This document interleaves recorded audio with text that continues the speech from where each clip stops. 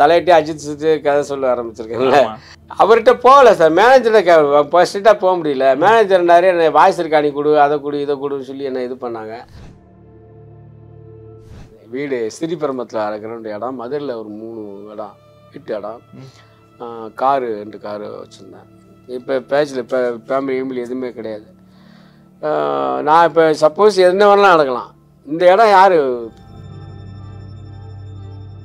நான் ரோட்டில் எங்கேயாவது நின்றுட்டு இருப்பேன். எங்கேயாவது நின்றுட்டு இருப்பேன். அங்கே ரோட்டில் கரெக்டாக வந்து நிறுத்துவார். ஏ ஏ மணி எங்கடா பார்த்துட்டியா? அப்படிம்பாரு. பார்த்துட்டானா எங்கடா? அப்படின்னா வண்டியில் உட்காரம்பா பாரு. இல்லைன்னா ஓடுவேன் நான். ஏய் வண்டியில் உட்காரப்பா ஏய் மணி ஓடா அப்படின்னாரு. நான் ஒரு போனேன். சுற்றி ரவுண்ட் அடிச்சுட்டு கிட்டே வர மாட்டியா? அப்படின்னு கேட்டேன். என்ற வயக்காட்டில் வந்து எப்படா ஷூட்டிங் எடுக்க போச்சு? நீ யாரா மேனேஜராடான்னு அடிச்சிட்டான் சடான்னு நான் என்ன நேராக விஜயகாந்த் போய் சொல்லிட்டேன். ஆனால் என்ன மாதிரினா என்னடா அப்படின்னு என்னடா அப்படின்னு எனக்கு கண்ணத்தில் அடிச்சார் சார் வீ வயக்காடான் அப்படின்னு. வயக்காட்டில் எடுத்தால் கண்ணத்தில் ஏன் அடிக்கிறான்ட்டு யாரா வந்துட்டார். மனித நியமாக இருக்குன்னு அடிப்பார் ஃபஸ்ட்டு மனித நியமாக இருங்க அப்போ நீங்கள் சாமி கும்பிடுங்க அடிப்பார் விஜயகாந்த் சார் வந்து கடவுள் மாதிரி.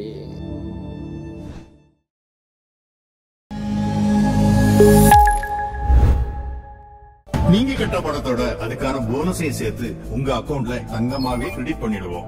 பதினோரு மாசம் முடிவுல உங்களுக்கு பிடிச்ச நகையை வாங்கிக்கலாம் டிஜி கோல்டு இது டெய்லி கோல்டுங்க நகைச்சுவை நடிகர்கள் பலரையும் நமது நாதஸ் நேர்காணல் நடத்தி வந்த நிலையில் தற்போது நம்முடன் இருப்பவர் காமெடி நடிகர்களில் முக்கியமான ஒருவர் சிட்டிசன் மணி நம்மோடு இருக்கிறார். அவரிடம் பேசுவதற்கும் கேட்பதற்கும் நிறைய இருக்கின்றன வணக்கம். வணக்கம். நல்லா இருக்கீங்களா அண்ணா? நல்லா இருக்கேன். ஃபர்ஸ்ட் அண்ணன் உரிமையா கூப்பிட்டுக்கலாமா? நான் எல்லாரையும் மரியாதையாக இன்னும் கூப்பிட்டு பழகம் கூப்பிடுங்க பிரச்சனை கிடையாது. உங்களெல்லாம் வடிவேலு சார் காமெடி ட்ராக்ல தான் நாங்கள் நிறைய பார்த்துருக்கோம். இப்படி பார்க்கும்போது அப்பெல்லாம் உங்களுக்குலாம் ரொம்ப சொற்ப சம்பளம்ங்கும் போது எப்படி சார் வாழ்வாதாரத்தை ஓட்டிங்க அப்ப குடும்பம். அதுக்கப்புறமே சொல்றேன் எப்படி குடும்பம் இருக்கு? அதுக்கு ஓட்ட வேண்டிய இல்லை அப்போ வந்து கம்மி சம்பளம். கம்மியான வேலை தானே இப்போ இன்னைக்கு அதிகம் அதிகம். இப்ப என்ன சூழ்நிலை தந்தாப்புல தான் சார் இருக்கும். இன்னைக்கு ஃபேமிலி எப்படி சார் இருக்கு? இன்னைக்கு நல்லா இருக்கும் நான் வீட்டில் அம்மா இருக்காங்க அக்கா இருக்காங்க. நீங்க சிங்கிளா ஆமாம் நான் இப்போ ஃபேமிலி கிடையாது. நான் பேச்சுலராக தான் இருக்கேன். இது ஃபேமிலி டைவர்ஸ் ஆயிடுச்சு. ஓ. பெருநாளி படம் எடுத்தேன் அப்போ டைவர்ஸ் ஆயிடுச்சு. அது பிறகு இப்போ இல்லை இருக்கும் படம் இதாக இப்போ பெருநாளி இப்போ முன்னே டைவர்ஸ் ஆயிடுச்சு. அது வேற ஒரு ப்ரொடியூசர் இப்போ இப்போ வந்து சொந்த படம் எடுத்திருக்கேன்.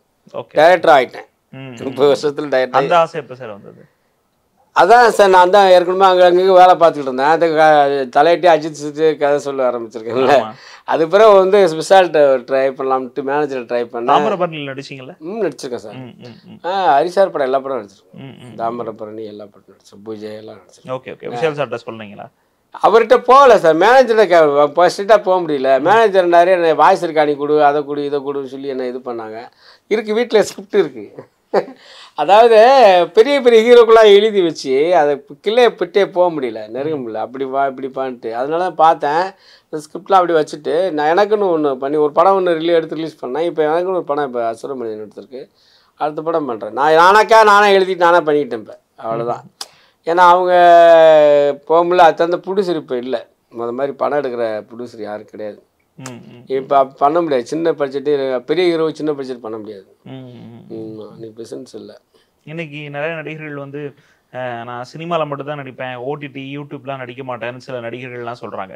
முன்னாடியிலேருந்து நடிக்கிறவங்களா நீங்க அந்த மாதிரி ஏதாவது ரெஸ்ட்ரிக்ஷன் போட்டிருக்கீங்களா? நான் யூடியூப்பு வந்து நான் போகல.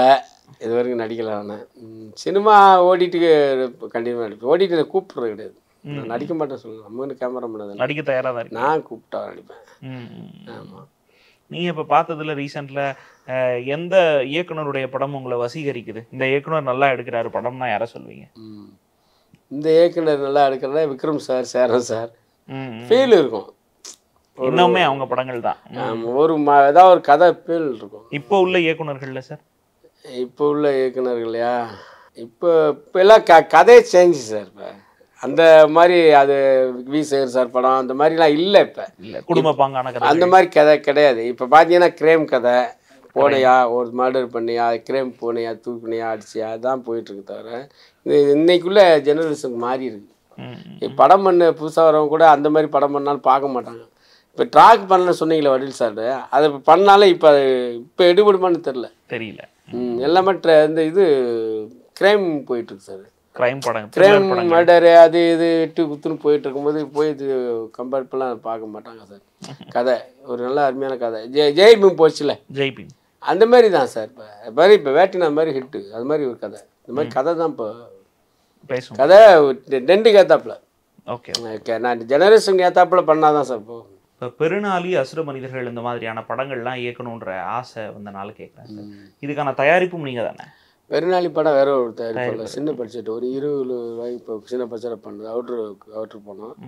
நான் அறுபதுல இருபது நாளில் முடிச்சுட்டு வந்துட்டேன் சின்ன பட்ஜெட்டு இப்போ இது வந்து அசுர மனிதன் என்னுடைய சொந்த படம்.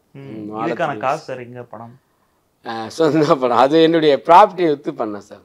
வீடு ஸ்ரீபெரும்பத்தில் இருக்கிற இடம். மதுரையில் ஒரு மூணு இடம் வீட்டு இடம். காரு ரெண்டு காரு வச்சுருந்தேன். காரு நகை ஒரு இருபத்தஞ்சி பா நகை.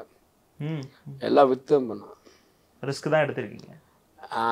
அதாவது ஒரு மனிதன் வாழ்கிறான் வா நான் சினிமாவில் இருக்கேன்.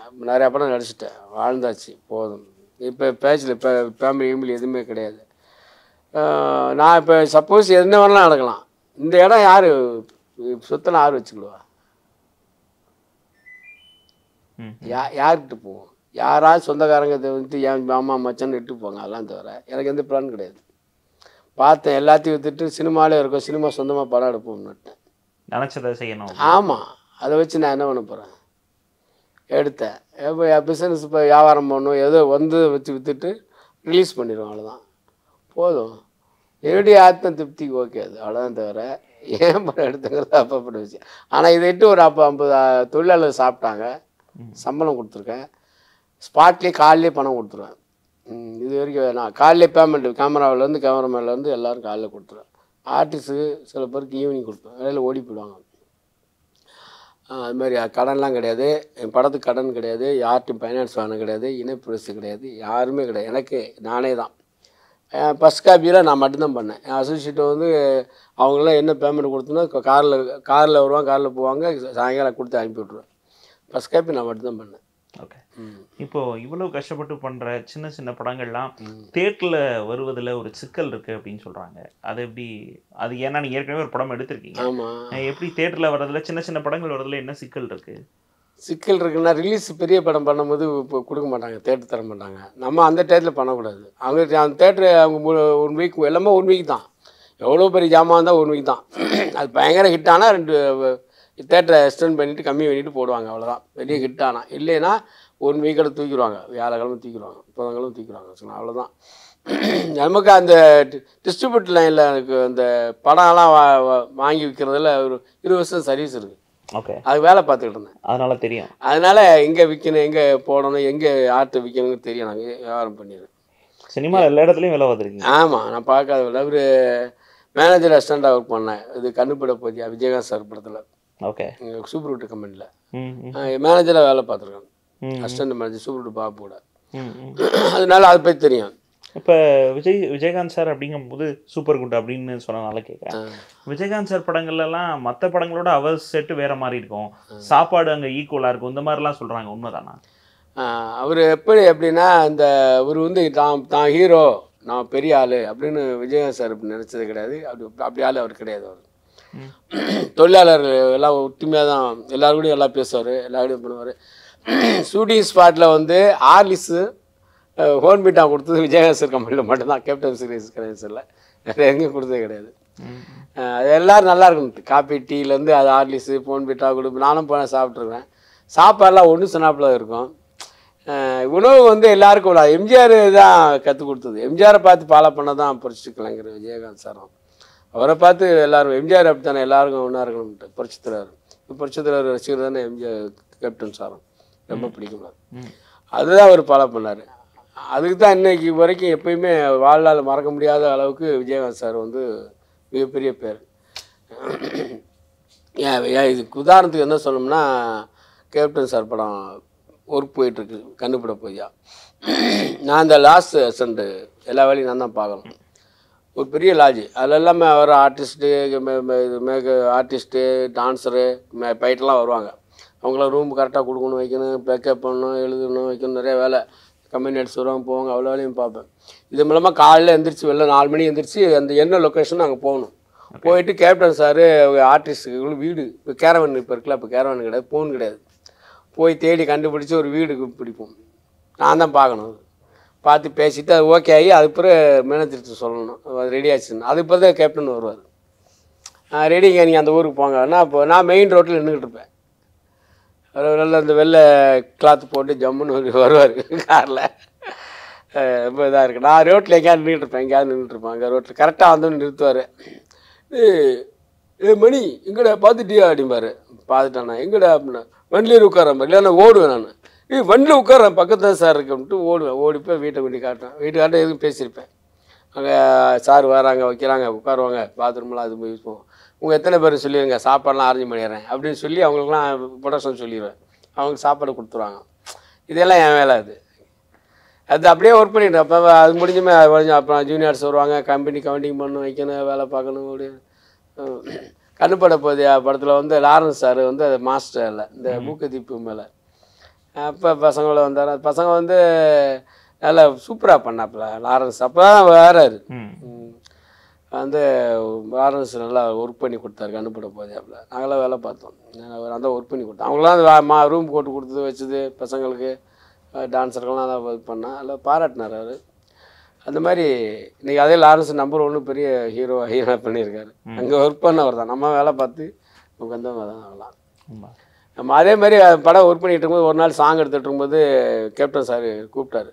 டேய் மணி கோடா அப்படின்னாரு. நான் ஒரு ஊருக்கு போனேன். சுற்றி ரவுண்ட் அடிச்சுட்டு கிட்டே வர மாட்டியா? அப்படின்னு கேட்டார். இல்லைண்ணே அப்படின்னேன். ஏன்டா?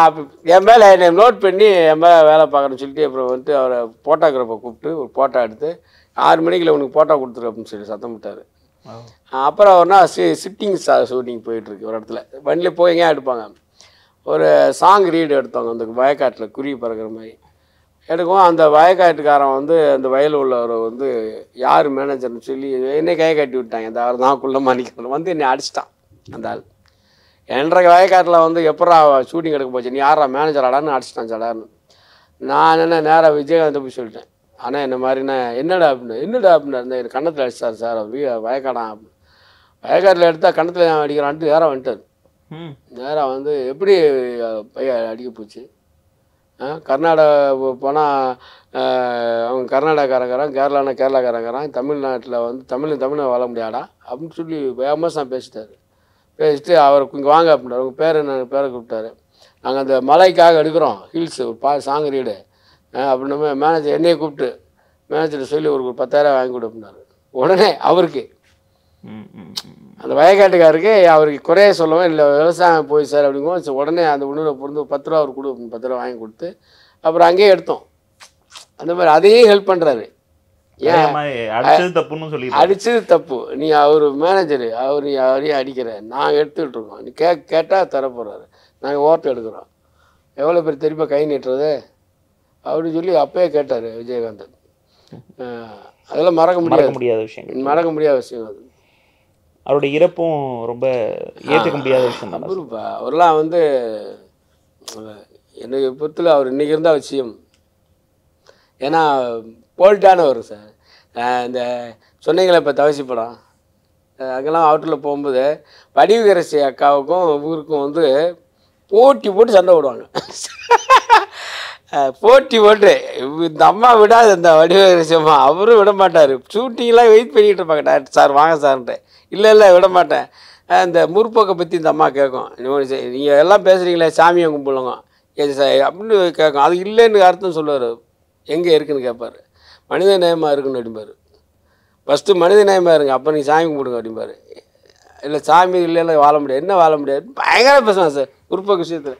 ஒன்றோ ரெண்டோ பேசுவாங்க ஊ யூனிட்டே நிற்க பொள்ளாச்சியில் அந்த மாதிரி நிறைய இருப்பாரு வடிவரசிக்கு வந்து விஜயகாந்த் சாருக்கும் ரொம்ப ஃப்ரெண்டு அப்படி கேட்பாங்க கேள்வி. இந்த அவரும் விட மாட்டார் போட்டு சண்டே வந்துடும் அதெல்லாம் மறக்க முடியாது அதெல்லாம். அப்படி விஜயகாந்த் சார் வந்து கடவுள் மாதிரி இன்னைக்கு தொண்டர்கள்லாம் இன்னைக்கு வந்து அவங்க இதில் வந்து சாப்பாடுனா தான் போடுறாங்க. அந்த அம்மா பெரிய விஷயம் அது. ம்.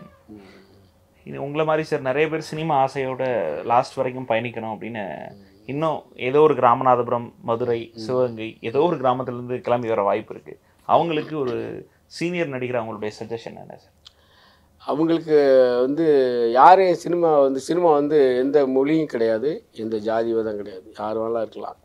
திறமைகளை வளர்த்துக்கணும். பொருளாதார ரீதியாக வந்து இருக்கிற இடம் உணவு. ரெண்டையும் காவத்து காப்பாற்றிக்கணும் ஏன்னா அப்போல்லாம் நாங்கள் வர டேத்த சாப்பாட்டுக்கு ரொம்ப கஷ்டப்பட்டோம். இன்றைக்கி புரட்சித்தலை அம்மாவுடைய அம்மா உணவுன்னு சொல்லி ஒன்று இருக்குது அது எந்த அரசாங்கமாக இருந்தாலும் அதை உதவி பண்ணி உதவி பண்ணுறாங்க எல்லா அரசாங்கமும். இன்றைக்கி இன்னைக்கு வந்து சாப்பாடை பற்றி பிரச்சனை இல்லை. தங்குறதுக்கு ஒரு இடம். அவன் வந்து கரெக்டான ஒரு உன் டேலண்ட் என்னென்ன டேலண்ட்டை வளர்த்துக்கிட்டு நீங்கள் முயற்சி பண்ணால் வரலாம். ஆமாம் அவ்வளோதான் தெரியும். அவ்வளோதான் விஷயம். முயற்சி பண்ணால் வரலாம். முயற்சி தான் அந்த மெயின் நிறைய விஷயங்கள் பேசுனீங்க சார். உங்கள் சினிமா கரியர் லாஸ்ட்டாக வேட்டையை நடிக்கிற வரைக்கும் நிறைய விஷயங்கள் எங்களுக்காக உங்களுடைய சினிமா எக்ஸ்பீரியன்ஸை பகிர்ந்துக்கிட்டீங்க. நீங்கள் இன்னும் நிறைய படங்களில் நடிக்கணும் நாங்கள் பார்த்து மகிழணும்னு நாத சார்பாக வாழ்த்துக்கிறோம் நன்றி சார். ரொம்ப ரொம்ப நன்றி. தேங்க்யூ வெரி மச் எனக்கு வந்து இந்த சேனலுக்கு வர வச்ச கௌரி சங்கர் சார் திருவெங்கடா என்ன நான் மறக்க மாட்டேன். மீண்டும் எனக்கு வந்து இந்த சேனலில் வந்து வந்து எனக்கு பேட்டி கொடுங்க. நான் கொடுக்குறேன். எப்போ வேணாலும் வரேன். உங்கள் வீட்டு பிள்ளை மாதிரி. நேயர்கள் அனைவருக்கும் பணிவான வணக்கங்கள். இந்த சேனல் நல்லா சப்ஸ்கிரைப் பண்ணுங்கள் இந்த சேனல் மிகப்பெரிய நம்பர் ஒன்றா வரணும்னு ஆண்டவனை வேண்டிக்கிறேன். திருப்பி வேட்டையில் வந்து ஒரு வேட்டையை ஆடிருக்கோம் நன்றி. வணக்கம்.